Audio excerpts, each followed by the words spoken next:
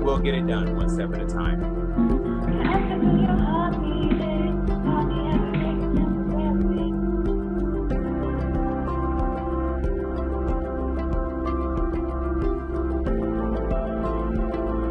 For me, grief is like a roller coaster. It comes and goes. If you have a mentor, I'd recommend trying to go through big milestones with them because it's a huge help. and quiet your heart and mind and hear her.